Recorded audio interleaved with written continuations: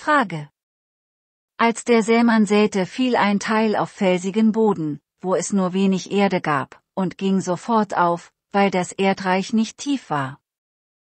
Als aber die Sonne hochstieg, wurde die Saat. Weil sie keine Wurzeln hatte. Bitte ergänzen.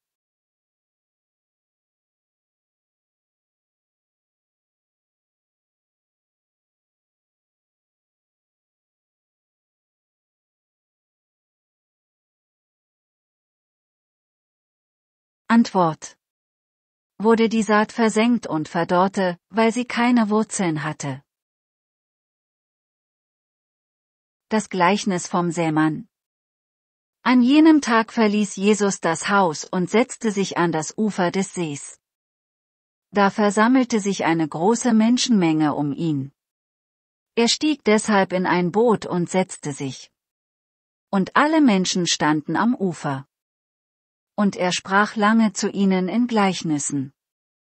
Er sagte, siehe, ein Sämann ging hinaus, um zu säen. Als er säte, fiel ein Teil auf den Weg und die Vögel kamen und fraßen es. Ein anderer Teil fiel auf felsigen Boden, wo es nur wenig Erde gab, und ging sofort auf, weil das Erdreich nicht tief war. Als aber die Sonne hochstieg, wurde die Saat versenkt und verdorrte, weil sie keine Wurzeln hatte. Wieder ein anderer Teil fiel in die Dornen und die Dornen wuchsen und erstickten die Saat. Ein anderer Teil aber fiel auf guten Boden und brachte Frucht, teils hundertfach, teils sechzigfach, teils dreißigfach. Wer Ohren hat, der höre.